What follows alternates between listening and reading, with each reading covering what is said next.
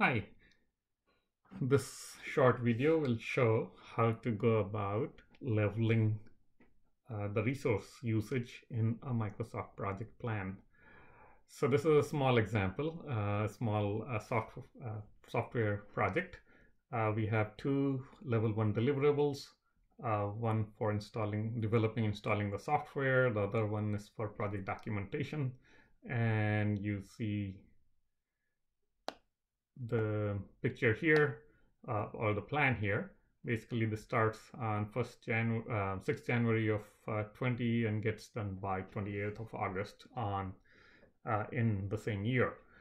Uh, right now, this is unleveled, and will if we go, we can verify that it's unleveled by going to resource sheet, and you see some of the resources are overloaded. So we can see what is the usage right now in this plan. So I can insert a column called peak and that shows me the peak units for uh, these resources. Now assuming that these resources are available only at 60% of the peak, we can change these numbers down to 120%, 120%, and 120%. So if that were uh, our resource availability, we can level our plan to do not run over these available percentages. So go back to, um, we don't need to, but it helps to see the leveling in action in on the Gantt chart. So I go back to Gantt chart and action as in you'll see the dates will change here for the finish date. So I go to resource menu here, resource ribbon, open the leveling options. So this provides the leveling options we can. Uh, the first step really should be to check uh, mark on level only within available slack and see if uh, activities can be moved around within the available slack. That means the end date will not change. For a real project, typically that's pretty uh, ambitious to achieve that within uh, without extending the project date. Uh, and right now I'm not demonstrating that for some reason uh, it's this particular option is not working for my version of project. I have uh, done the online repair uh, for this, but it still is not working. So we'll skip that. And, and as I said, usually uh, this would not really work for most real projects. So we will allow that to happen. That is, we are not requesting available uh, with leveling within available Slack only, will allow the project to extend. So with that, I'll just go ahead and click on level all. And so I just did that and you see something's changed and, and whatever has changed is highlighted in this light, very light blue color. Uh, and you can see the date has now gone from uh, August 28th to now 10th of November. Um, and and so and you also see the um, critical path shifted over. Uh, so we got critical path coming up to here, and then it jumps over down there. And you see uh, there's a gap in the critical path also here. And so that really is in indicating that there is a resource critical path. Um, and essentially during this time, since we had to level the resources, uh, the, the, there is this resource critical path of these two activities uh, falling on the resource critical path, uh, causing the gap between uh, the critical path uh, activities. Um, so, but but the leveling, as you notice, is leveled. How would we also see leveling? Uh, we can also go to see uh, the resource graph. and in resource graph, the view, let's see, we need to adjust so we can see what's the resource name, we'll go ahead and zoom for the entire project. And so that shows the assistant project managers uh, loading and we can basically scroll through different folks. But you notice here, project uh, earlier, the project manager was above 100%, it was a 200% peak.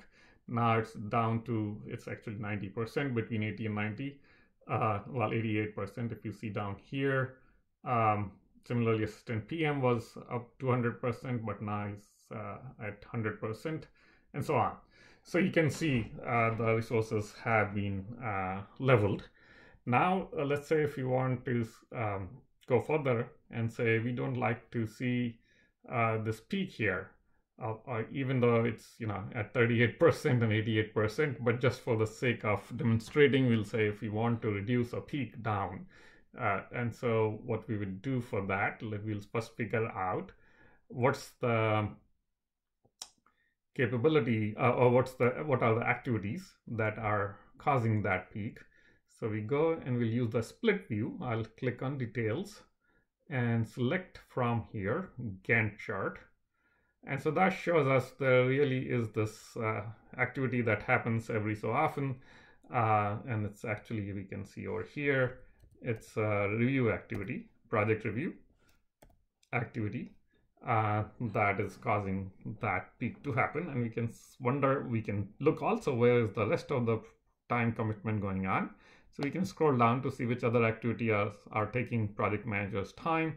And so there's this managed project hammock activity that is taking uh, project manager's time on basically a 38% all the time, uh, except for when we do that review, then that uh, makes it go up. So just in, for the purpose of demonstrating uh, to, uh, to uh, stretch this activity or increase the duration of the activity and bring the resource requirement down, we'll change this particular, just one of the project review report activity to show how it will work. So first thing, we our assumption was the original plan had activity durations figured out based on um, optimum duration. Uh, so if it's optimum duration or optimum settings, then uh, if we change the activity duration, then the work will actually increase. So first let's make, first let's say we calculated and we said, well, if we go to a non-optimum setting, the work will increase by 20%.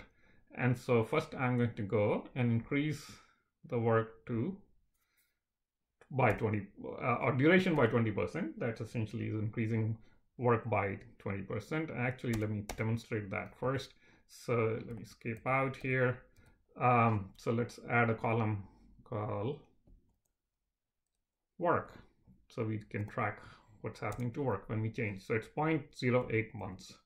Uh, so now 0.08 months, and let's say, um, so we'll basically calculate roughly how much uh, the impact of non-optimum setting would be. And as I said, we are assuming that would take us to 1.2 days or really uh, at 2.09 months of work. But let's um, maybe move this a little bit here so we can see the. So one, when you make a change like this, project gives you options. Uh, so I'll select on that so that I can see the options.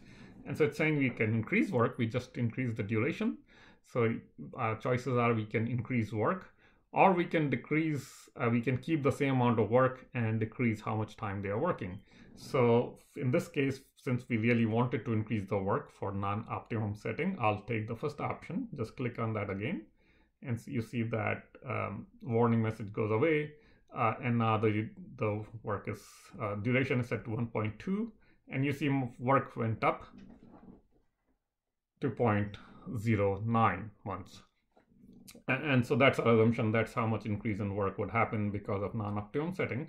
And now that we have done that, now we will go and stretch the duration.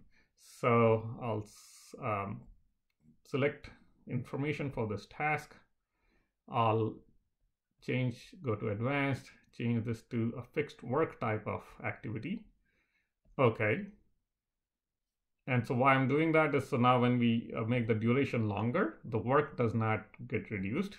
And we have already adjusted for um, uh, the non-optimum setting. So now I'll go ahead and make it two days. Hit enter and you will again get choices. And let me get the choices here. So the choices are increase work or decrease the hours resources work per day but keep the same amount of work. But since since we have taken the option to make it fixed work that makes sense to take the second option. And so i select that. And so you see here now the peak has gone down.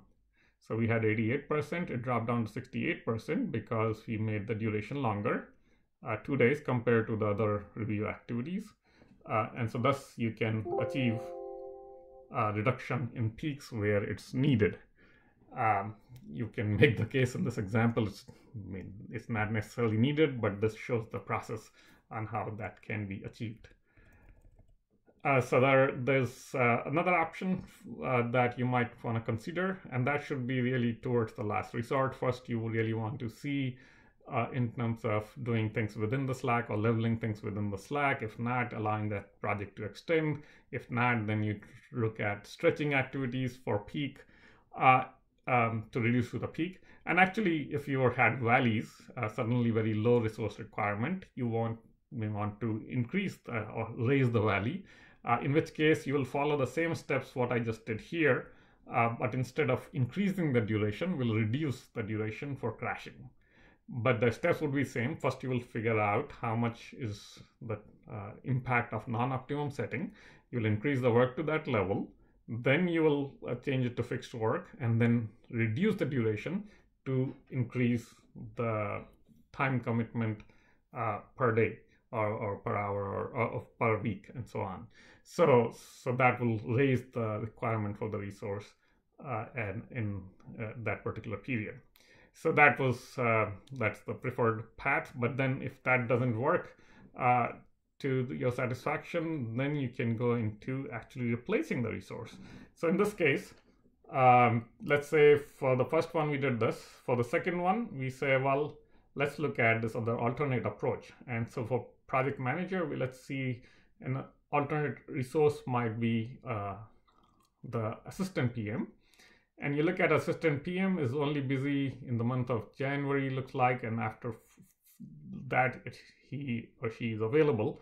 And so we say, okay, so let's shift the some of the work for the second review cycle to the assistant project manager. And so we'll do something something similar. We say, okay, so if, if you're going to assistant project manager, that's not really the optimum setting for us. And so there would be some um, impact of that. And so we say, okay, there's a like 10%, let's say we, we figure out that there's a 10% uh, inefficiency because of having assistant project manager do that. So hit enter. And similar to last time, we'll say first we want to increase the work. So we'll increase work. And so we increase the work. And now we say we'll um, shift the responsibility to an assistant project manager. So I'm going here, move that to assistant PM and say, okay. And you see that disappeared from here. So the peak for project manager disappeared. And if we go to assistant PM, that work of 50% moved over to this place. Uh, uh, this um, uh, resource. So, so that's another way of, and this should be done sparingly, the, as a, as I said, as a last resort. and so that, but that is an option. Um, and really, you would have also an option to hire a new resource, again, very sparingly, last resort. And in that case, you would, once you add a new resource to the resource sheet, you can come back and do the same way uh, shift work from uh, a busy resource to uh, a new resource. So that demonstrates how you would go about um, uh, leveling and, and, and leveling using Microsoft project uh, capability, as well as then doing manual uh, changes such as those demonstrated here for stretching the activity and similar path for crashing the activity or for uh, changing to uh, an existing resource and you would use a similar path for changing to a new resource. Hope this was helpful.